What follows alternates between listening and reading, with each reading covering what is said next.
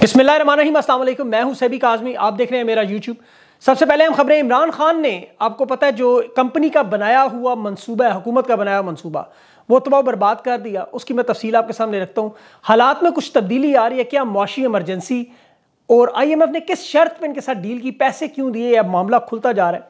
Martial law की तरफ़, निगरान सेटअप की तरफ़, इलेक्शन के डिले में, मुलतवी करने में ये क्या मामला हैं? सुप्रीम कोर्ट का बड़ा अहम किरदार इमरान खान के हक में या मुखालफत में, ये भी देखते हैं। और तोशा खाना मामला किस तरफ़ जा रहा है? इसके साथ साथ फौजी अदालतों में सिविलियन के ट्रायल के खिलाफ जो केस है, उसकी समात पर फुल कोर्ट बनाने की दरख्वास्त मुस्तरद कर दी। ये अदालती मामला बड़े अहम हैं, इस पर ज़रूर तफसील से बात करते हैं। शरियार अफरीदी के लिए बिलाखर अदालत को होश आ गया। और बाजोड़ धमाके के बाद फजल रहमान ने इलेक्शन मुलतवी करने का मुतालबा। बिल्ली लगता है थैले से बाहर आ रही है। और हुकूमत और इस्टेब्लिशमेंट जहाँ तहरीक इंसाफ को तोड़ने की कोशिश कर रहे हैं, इमरान खान पर उसका असर क्यों नहीं हो रहा? वो मजीद बंदे निकाल रहे हैं। तहरीक इंसाफ को फ़र्क पड़ेगा या नुकसान? इसकी तफसील भी रखता हूँ। और बिलावल जरदारी ने अफ़गानिस्तान को खुली धमकी, उसका रद्दमल क्या आया। और सात रिजवी भी इमरान खान की हम ज़ुबान हो गया। मंजूर पश्तीन का भी आने वाले इलेक्शन बड़ा अहम किरदार। नाइजर का मामला भी आपके सामने रखना ज़रूरी है, क्योंकि पाकिस्तानी अवाम के लिए बड़ा अहम है। उसकी मैं आपको कुछ अपडेट्स वो भी ज़रूर दूँगा आखिर में। लेकिन सबसे पहले तोशा खाना केस की बात करते हैं। इमरान खान के वकला ने सुप्रीम कोर्ट में, आपको पता है, इस फैसले के खिलाफ अपील की थी, उसकी समात हुई। उसमें यया अफरीदी साहब आपको पता है, उनके वो हेड कर रहे थे इसको पूरे मामले को। अब ये मामला थोड़ा सा आपको समझना पड़ेगा। सुप्रीम कोर्ट आप जानते हैं, बाकायदा तौर पर वहाँ दो ग्रुप्स मौजूद हैं, एक बंदयाल साहब का, दूसरा जस्टिस फायज ईसा साहब का। और आज जो हो रहा है, ये काजी फायज ईसा साहब का ग्रुप है। इसके अब जो भी आपको पता है हालात है इस वक्त जिम्मेदार कोई भी है, आपको पता है इस पर कोई दो राय नहीं है। इमरान खान के साथ लेकिन बेइंसाफ़ी को रोकने की कोशिश भी की जा रही है। वकला की ये मौकफ़ है कि इस केस के ट्रायल को रोकने का सुप्रीम कोर्ट हुक्म दे। शैया अफरीदी साहब ने जो फैसला दिया, उन्होंने कहा, हमने हुक्मनामा लिखा था हाई कोर्ट को, दरख्वास्त आपकी जो थी इकट्ठी करके सुन लें। अब जो आप हमसे रिलीफ मांग रहे हैं, हो सकता है वो हाई कोर्ट आपको खुद ही दे दे कल। पहले उन्हें फैसला करने दें। अब दरख्वास्त आपकी गैर मौसर थी, फिर भी हमने सुनी, ऑर्डर दिया, लेकिन हम सूरत हाल को समझ रहे हैं। हम समझ रहे हैं और आपको एक बेहतर ऑर्डर मिलना चाहिए। अच्छा ये बातें गौर से सुने। ये अल्फाज बड़े अहम हैं कि जो रिलीफ आपने मांगा, हमने दिया। मैं हैरान हूँ इस पर सुप्रीम कोर्ट के साथ जो रुजू किया गया। हाई कोर्ट में अब केस पहले से पड़ा हुआ है, उसकी समात भी है। अब एक तरफ़ आपको पता है ट्रायल कोर्ट की मुदाखलत नहीं कर सकती सुप्रीम कोर्ट कार्रवाई में। फुल कोर्ट बनाना वैसे भी उनके लिए मुमकिन नहीं। तो शाखाना केस में जो ट्रायल रोकने का अगर हुक्म दें तो चूँकि मुकदमा जेर समात है, इसलिए ये दरख्वास्त मुस्तरद ही होना थी। लेकिन परसों जो मामला है, उसको ज़रूर आप देखिएगा कि उस पर क्या पेशरफ होगी। अब हाई कोर्ट ने जो ट्रायल अगर ना दिया तो फिर सुप्रीम कोर्ट इस मामले को टेकअप करेगी। ये हाई कोर्ट में कल समात में है। और ये याद रखें, इस पर चार अगस्त को इलेक्शन कमीशन को नोटिस जारी हो चुका है। अब सुप्रीम कोर्ट के जो हाई कोर्ट को आपको पता है, एक हुक्म देता है कि आप ट्रायल ना दें तो फिर हम फैसला देंगे। ऐसी सूरत में अब ट्रायल रुक तो सकता नहीं और वैसे भी कानून बड़ा क्लियर है इस मामले में। Supreme court final order pass नहीं कर सकती और दिलावर हमायों साहब जो है वो कार्रवाई कोई नहीं कर सकते। मज़े की बात बताऊँ हमायूं दिलावर साहब के साथ बड़ा हैंड हुआ है।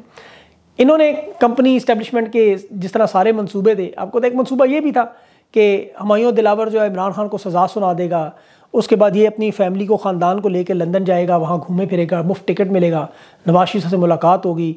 वहाँ इसकी जो हाउसिंग सोसाइटी है एन का नॉन ऑब्जेक्शन सर्टिफिकेट मिलेगा। फिर नवाज़ के जो फ्रंट मैन है वहाँ पे, वो इससे, आपको पता मान लो दौलत, जिस तरह वारशद वहीद के मामले में उन्होंने अपना बयान अल्फी सताईस करोड़ का दिया, ये मामला था इनका। लेकिन इमरान खान के वकला को क्रेडिट देना पड़ेगा। इस वक्त जो हमायूं दिलावर बहुत गुस्से और नाराज़गी में भी है, देखिए उसका बयान देखें, कहता है, अदालत में आज अगर गवाह आपके ना आए तो फिर हम आपका कानूनी हक जो ख़त्म कर देंगे। मतलब दो नंबरी की इंतहा। कल एतजाज़ हसन ने ठीक ठाक क्लास ली इसकी। लेकिन आज कहता है साढ़े बारह बजे तक गवाहान की लिस्ट पेश करें। वो पेश ही कहता है, अब डेढ़ बजे गवाह पेश करें। एक घंटे के अंदर गवाह लेकर आए। पाकिस्तान की तारीख में ऐसा नहीं हुआ। अब उसे पता है कि इमरान खान के वकला क्या करें, शहादतों का सिलसिला करें, और वो ये मामला बड़ा लंबा हो जाएगा। और सुप्रीम कोर्ट ने परसों की जो हियरिंग का कह दिया इलेक्शन कमीशन को भी चार अगस्त को बुला लिया। तो ऐसी सूरत हाल में अब ये शहादतें एविडेंस इतनी जल्दी ख़त्म तो हो नहीं। इसमें टाइम लगेगा। इतनी देर में शहबाज शरीफ की हुकूमत फारिग हो जाएगी और फिर इन्हें इलेक्शन का जो फैसला करना पड़ेगा। और इमरान खान तो चाहते हैं एक मरतबा ये इलेक्शन की तारीख का ऐलान करें। क्योंकि उन्हें पता है, फिर हवाओं का रुख किसी ने नहीं देखना, सबकी नज़रें फिर सुनामी की तरफ़ होंगी। और ये इलेक्शन जो है, देखिए, मुआशी एमरजेंसी या मार्शला के ये मामला ये मामला, इसमें आप शहबाज शरीफ का पहले बयान सुने कि उसने जो कहा ना कि इंतबात नई मरदमशुमारी और हल्का बंदी पे करेंगे। अब यही मुतालबा एम के एम ने भी किया। अच्छा राना सनाउल्ला हालाँकि कह चुका है कि पुरानी मरदमशुमारी पर इंतखाब कराएँ इंतबात करेंगे और नवाशी भी यही चाहते हैं, कि पुरानी पे हो, क्योंकि नई के मुताबिक हो तो फिर हर कौमी असम्बली और सूबे की जो नशस्त है वो बदल जाएगी। और ये मामला आपको पता है, जैसे आपके हल्के में वोट है, आपको पता है कहाँ से इलाका शुरू होता है, कहाँ से ख़त्म होता है, किस उम्मीदवार की क्या अहमियत है। अब इमरान खान खुशकस्मत है इस मामले में कि उन्हें इससे कोई फ़र्क नहीं पड़ता, क्योंकि उनकी तमाम पाकिस्तान में अब एक ही बात हो रही है। तमाम नशस्तों की तफसील जो वो आयन में लिखी हुई है अब ये इलेक्शन को मुलतवी करवाएँ तो उन्हें फिर आयन की वो जो है वो शिक, तरमीम करनी पड़ती है उसमें। और ये कोई छोटा मामला नहीं, इसके लिए बारह चौदह नौ असम्बली के मेंबर नहीं करते, दो तिहाई अक्सरियत चाहिए जो उनके पास है नहीं। लेकिन यहाँ फजल रहमान साहब ने जो बयान दे दिया, और सबसे ख़तरनाक बयान, बाजोड़ धमाका हुआ। फजल रहमान, उसकी क्यादत आपको नहीं थी वहाँ। हैरान कौन अंदाज में लोग नहीं पहुँचे। अच्छी बात अल्लाह ने उन्हें बचा लिया। लेकिन ये जवाब बना के ऑपरेशन की तैयारी कर रहे हैं और ऑपरेशन, आपको पता है, इलेक्शन मुलतवी करवाने की वारदात हो सकती है। और उसका सबूत आप देखें, बिलावल दरदारी जो अफ़गानिस्तान को खुल के धमकी दे रहा है, उसका जो बयान आया कि हम इंटरनेशनल कानून के तहत अपना दिफा का हक रखते हैं। अगर हिंदुस्तान अफ़गानिस्तान अपने मुल्क के अंदर दहशत गर्दों को नहीं रोकता तो फिर हम कार्रवाई करेंगे। अब ये तमाम दहशत गर्द ग्रुपों के ख़िलाफ़, और ये कहते हैं, हम मदद करेंगे अफगान तालिबान की। अच्छा इसमें कुछ बातें बड़ी हैं। एक, देखिए, क्या कौन रहा है? क्या किससे रहा है और क्या कह रहा है? अफगान तालिबान ने एक सौ सत्ताईस ममालिक के ख़िलाफ़ बीस साल जंग लड़ी है। ये उन्हें कह रहा है, हम घुस के हमला करेंगे। इससे बड़ी बेवकूफ़ी की बात हो सकती है। वो क्या कौन रहा है, जो गैर कानूनी हुकूमत का हिस्सा रजीम चेंज ऑपरेशन का, अमेरिका के जो दौरे हुए, उसमें यही मामला, चीन और अफ़गानिस्तान। देखें, दो साल हुए अफगान हुकूमत को, सोलह महीने हुए इनको यहाँ। पाकिस्तानी हुकूमत अभी तक फैसला नहीं कर पा रही, हमने मामला कैसे ठीक करने और वहाँ उनके सारे मामला ठीक। बॉर्डर सिक्योरिटी के नाम पर इन्हें पैसे मिल चुके हैं, और वो बार बार पूछ रहे हैं देने वाले, भाई, क्या किया उन पैसों का अभी तक? अब ऑपरेशन का जवाब फजल रहमान बना के देगा, एक मरतबा फिर आगे लगाने की कोशिश करेंगे, अपने पाव गोश के लिए, फिर पूरी भैंस मारने की तैयारी। अब देख लें खैबर पख्तूनख्वा में हर किस्म के सियासी मामला इज्तम पर पाबंदी क्यों लगाई गई अचानक? 2018 में चार गुना ज़्यादा मसाइल थे, बल्कि आप 2008 2013 में देखें तो सरकारी एहलकार वर्दी नहीं पहन सकते, इतने हालात ख़राब थे। अब तो ऐसा मसला ही नहीं हुआ। लेकिन उसके बावजूद, ठीक है छः सौ पैंसठ हमले हुए लेकिन अमेरिका के साफ़ी की आबाद सुने सिमोर हर्ष बहुत बड़ा साफ़ी है पुलिस प्राइस भी उसको मिला हुआ है। उसने इंकशाफ किया कि तुर्की को तेरह अरब डॉलर, जो आईएमएफ की इमदाद मिली, उसकी शर्त थी कि आपने स्वीडन की नेटो में शमूलियत की हमायत करनी है। अब ये बात बिल्कुल साबित होती है सामने कि मुफ़्त में कर्ज कोई नहीं देता। एक ऐसे वक्त में जहाँ पाकिस्तान को चीन ने इनकार किया, सऊदी अरब ने इनकार किया, अरब अमारात ने इनकार किया, पूरी दुनिया के किसी मुल्क ने कर्ज देने की हामी नहीं भरी, लेकिन फिर अचानक आईएमएफ से आखिरी वक्त में डील होगी। अब आप खुद दो जमा, दो चार, आपको पता है, शहबाज शरीफ के वो मामू तो लगते नहीं डील कर गए अब पाकिस्तान से पहले यूक्रेन की इमदाद उन्हें चाहिए थी और सिविलियन लोग यूक्रेन को चाहिए। ये तो सबको पता है, ताकि वो मारे जाए तो पता चले कौन है, सरकारी सतह पर नाम लाए पैंतीस सौ डॉलर तक बात हो रही है सिविलियन भेजें किराए की बंदूक। दूसरा, चीन का रास्ता रोकना, पाकिस्तान के हालात ख़राब करनी। सी पैक मामला को ख़राब करना देखिए चीन को उसकी भंक होगी, फ़ोन को पता चल गया कि वारदात हो रही है, वो नौ दिन की वरना हुकूमत रहेगी। उनका नायब सदर आके सारे मामला दहशत गर्दी सी पैक के तहफ़ और इन चीज़ों पर बात करता और वो अफ़गानिस्तान सी पैक लेके जा रहे हैं, रेलवे ट्रैक बिछा रहे हैं मनसूबा बड़ा कर रहे हैं। इधर पाकिस्तान, अफ़गानिस्तान के हालात ख़राब करने शुरू हो गए और हुकूमत को इससे अच्छा मौका नहीं मिल सकता क्योंकि ये चाहती नहीं इलेक्शन हो। इसलिए इस मंसूबे पर अमल करने की इनकी पूरी कोशिश होगी। शहबाशी का वरना ये बयान देखें हिंदुस्तान से ताल्लुक चाहते हैं। वो मुँह नहीं लगाते, दुश्मनी के काबल तक नहीं समझते। और इससे वो दोस्ती करना चाहते और अफगान हुकूमत हमले की धमकियाँ जिनके साथ आधी रोटी शेयर करते रहे। अब देखें पीटीएम का जो जलसा हुआ वहाँ, मंजूर पश्तीन का, अफ़गानिस्तान के पुराने झंडे लहराए गए। ये समझने की ज़रूरत है, तहरीक इंसाफ के बाद अगर कोई पार्टी मकबूल है तो वो पी टी एम है वहाँ। फजल रहमान फारग हो चुका है, पख्तूनों के साथ जुल्म हुआ, जो भी उनके साथ खड़ा होगा वो उसके साथ होगा, चाहे मंजूर पश्तीन हो। अब दूसरा मसला ये क्या कर रहे हैं, मीशत को तबाह करने का। बड़े मनसूबे के तहत सिस्टमेटिक तरीके से, जंगजदा इलाकों में भी ये वारदात नहीं होती। आपको याद होगा, इमरान खान बाईस अरब डॉलर छोड़ के गया, ये कह रहे हैं दिवालिया हो रहा थी। क्रेडिट रेटिंग सी प्लस थी बी प्लस थी। आज एक वक्त में जहाँ के अपने जाती 400 मिलियन डॉलर रह गए, कहते दिवालिया नहीं हुए, लेकिन उस वक्त हो रहे थे। आज जो पेट्रोल की कीमतें बढ़वा रहे हैं, दुनिया में पेट्रोल सस्ता है। वो मैं आपको बार बार पहले बता चुका हूँ कि पेट्रोल के ज़रिए ये तबाही फैलाने का मनसूबा, ये भी मीशत को तबाह करने की एक कड़ी है। तारीख में पहली दफ़ा अट्ठाईस फ़ीसद महँगाई, आम रोज़मर्रा की जो दाल, चावल, टमाटर, सब्ज़ियाँ तैंतीस फ़ीसद महँगी। अब ये जो नया इजाफा पेट्रोल की दो सौ चौहत्तर रुपये लीटर ले गए, ये पाकिस्तान का सबसे ख़तरनाक मौशी मसला बन गया। अब इसे ये बहाना बनाकर इस्तेमाल कर रहे हैं। जी देखे, पेट्रोल महँगा इसलिए हुआ कि शहबाज शरीफ वजी अजम होते हुए, हालाँकि रूस से जो तेल इन्होंने ख़रीदा, हिंदुस्तान की कंपनियों से मिलकर कमीशन खाया। अट्ठारह रुपये लीटर कमीशन ये खा रहे हैं बीच में। ठीक है, मान लेते हैं इनकी खबर कि जी रूस में रिफाइन नहीं होता तेल। ठीक है, लेकिन ये मामला इतना सादा नहीं है। इमरान खान की हुकूमत ने सिर्फ़ पंद्रह दिन पेट्रोल पर सब्सिडी, सिर्फ़ पंद्रह दिन। लेकिन ये आज सोलह महीने बाद भी अपनी नाकामी की ज़िम्मेदारी उस पंद्रह दिन में डालते हैं। आप 2018 में नून लीग का देखिए 18 महीने उन्होंने गैस बिजली कीमत नहीं बढ़ाई। उस वक्त हालाँकि कमोडिटी सुपर साइकिल वो भी ना होने के बावजूद। करंट अकाउंट खसारा इन्होंने पैदा किया, चार सात डॉलर का मसनू रेट रखा इम्पोर्ट बेस इकानमी बनाई। और हुकूमत गिराने की इनके दौर में कोई साजिश नहीं हुई। इमरान खान की हुकूमत आते ही आठ से नौ महीने बाद हुकूमत गिराने की साजिश हुई। अब सब कुछ खुल के सामने आ गए अब अस, वैसे असर अजहर सदीक साहब ने इसको पेट्रोल को तो प्राइसेस को चैलेंज किया देखते हैं क्या बनता है।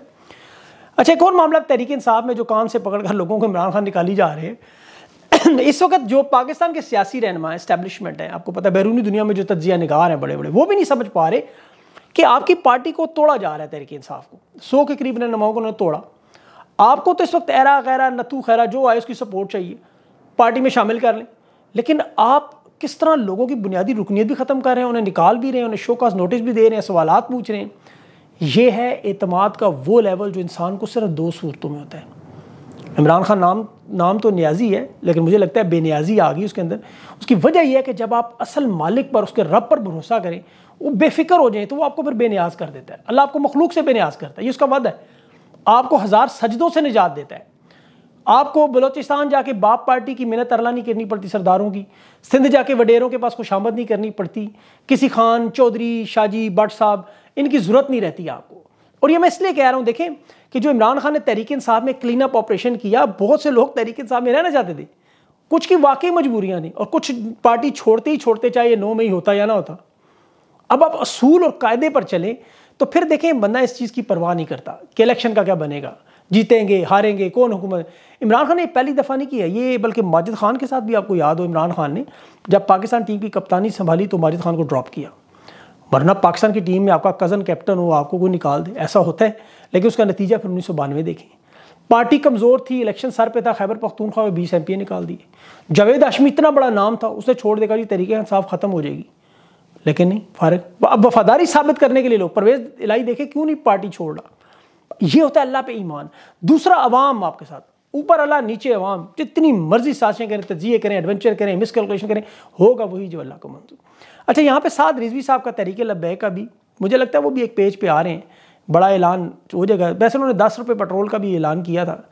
तहरीक इंसाफ के बाद अगर मुझे लगता है जो वोट निकालेगा पंजाब से नून लीग पीपल्स पार्टी का तो वो तहरीक लबैक होगी। उधर मंजूर पश्तीन पीटीएम की होगी। ये दोनों जमातें जो है, बाकी सारों को फारिग करेंगी। और हो सकता है अगली हुकूमत में मुझे इमरान खान से इनका इतिहाद भी होता हुआ नज़र आ रहा है। अभी अगर मुकर्रा वक्त पर इलेक्शन ना होगा तो उन्होंने कहा ना, सादरी साहब देखेंगे हम करते क्या है। खैर, ये तो आने वाला वक्त बताएगा क्या करते हैं। गुमान अच्छा रखना चाहिए, बाकी जो अल्लाह को मंजूर, जिससे जो काम लेना वो खुद ही ले लेगा। अब बात ही लाहौर हाई कोर्ट ने बड़ा अच्छा काम किया। शहरियार अफरीदी और उसके भाई की आपको पता है नज़रबंदी का जो ऑर्डर था उस पर डिप्टी कमिश्नर और सी पी और पिंडी उन्हें तहरीरी जवाब मांगा। उन्होंने कहा, किसी सूरत में गैर कानूनी आइन बर्दा काम बर्दाश्त नहीं करेंगे। ये बहुत बड़ी खबर अल्लाह ने हिम्मत दे, इस्तकामत दे कि गैर कानूनी काम होने से रोकें। काम उनकी नौकरी है। मैं देख रहा था मोहसिन नकवी के एक नौजवान के साथ जेल में पंखा लगा कर देने की तस्वीर, वो मैंने शेयर भी की थी। ये नौजवान चौधरी तारक इरशाद, जो तरीके इंसाफ का पी पी एक सौ अठासी का टिकट होल्डर है, उसका बेटा है। बाप की सियासी वाबस्तगी और वफादारी की वजह से बरतानिया में पढ़ रहा था, छुट्टियों में मिलने आया। बाप ने, क्योंकि प्रेस कॉन्फ्रेंस नहीं की के मानने पर उन्होंने बच्चे को जेल में डाल दिया। उसका तालीमी साल भी ज़ाया कर दिया। और ये देखें बार बार कह रहे हैं, हम गुनागारों को ज़रूर पकड़ें, लेकिन बेगुनाहों के दिलों में नफ़रतें ना डालें। कुरान पाक को समझने वाले लोग ताकत में मौजूद हैं, और वो ज़्यादा समझते हैं हमसे। देखिए अल्लाह ने हदायत की है, सूरह अबरूज में है। मैं इतना पढ़ा लिखा नहीं हूँ, लेकिन जिन लोगों ने मोमिन औरतों और मर्दों पर जुल्म सितम किया और तायब ना हुए, उनके लिए जहन्नुम का अजाब है, उनके लिए जलाए जाने की सज़ा है। बाकी भी बहुत सारी आयतें लेकिन मैं एक से ही हो सकता है आपको समझ आ जाए। मैं कोशिश करता हूँ वीडियो में आपको पता है, दरिया को कूजे में बंद करूँ, लोग कहते हैं वीडियो लंबी करें। अगर लंबी की तो फिर आप लोग जो है वो सुनेंगे नहीं बात। नाइजर का मामला भी बड़ा अहम है। फ्रांस ने नाइजर में फ़ौजी हुकूमत की वजह से उसकी इमदाद बंद की। उसके जवाब में उन्होंने फ्रांस को जो सस्ता सोना और यूरेनियम दे रहे थे, दिहाइयों से वो बंद कर दिया। अब बिजली मिलती है फ्रांस को, अब याद रखिएगा इस यूरेनियम से। ये अपने मुल्क रजीम चेंज पाकिस्तान में हुआ। वैसे वहाँ हुकूमत जनरल अब्दुलरमान चानी, चियाती की, चानी की चियाती उसकी है। फ्रांस और दीगर जो यूरोपीय ममालिक हैं, उन्होंने कहा, जी खला तक तमाम शहरी जितने भी यूरोपियन को गिरफ्तारी के अहकाम भी दे रहे हैं। और यूरोपीय यूनियन पर बाकायदा हमले के लिए अफ्रीका के उन ग्रुप्स को, जिनकी ये मदद करते रहे, उनको भी आगे पंप मार रहे हैं। क्योंकि आपको पता है, मेरे पास वक्त कम होता है, मैं तफसील से फिर इस पर बात कर नहीं सकता। इस वक्त हमारा ध्यान सारा जो अंदरूनी सियासत पे है तो ये हल्के फुल्के अंदाज में मैं कोशिश करता हूँ आपके इंटरनेशनल खबरें जो, वो खबरें जो हमारे साथ रिलेटेड हैं, बिल्कुल वही वारदात जो हमारे साथ हो रही है। तो कोशिश करूँगा टाइम निकाल के अगली वीडियो से, बल्कि आगाज़ ही हो सकता है, इसी से करूँ। लेकिन बहुत सी चीज़ें हो रही हैं, बहुत से मामला हो रहे हैं इस वक्त।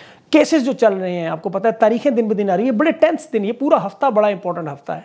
तो कोशिशें करें, जुड़े रहें साथ, और इनशाला आपके साथ फिर अगले वीलॉग तक के लिए मुझे इजाज़त अल्लाह हाफिज़।